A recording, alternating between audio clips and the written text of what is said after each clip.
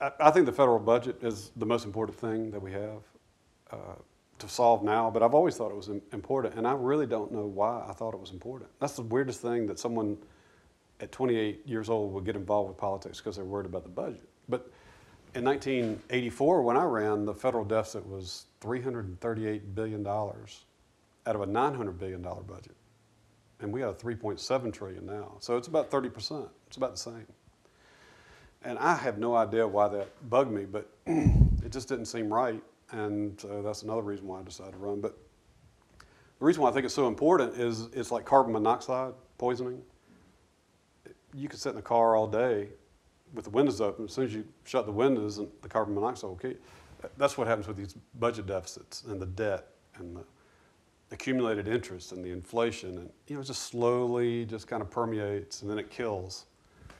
And that's what I'm really concerned about. And I, since that time, I've done a lot of reading about history. Uh, there's a great book called uh, This Time is Different.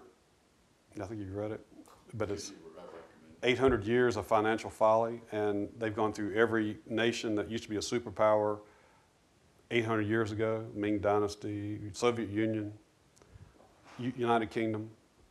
And it's not that they evaporate, they just cease being superpowers, and they cease being generators of great opportunity. And that's what I'm scared about with this situation. So, so what I'm trying to do with my blog and when I talk to people is I'm trying to take it a really dry subject. If you look at any budget, you know, accountants, Yeah. they're not exciting people.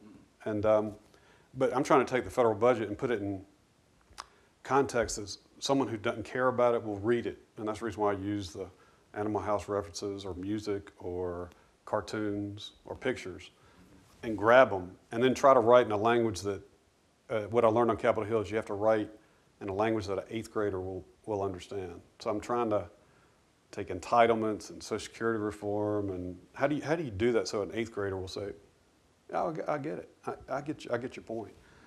So that's part of what I'm trying to do, and you know, hopefully, uh, hopefully enough people will start looking at it and agreeing.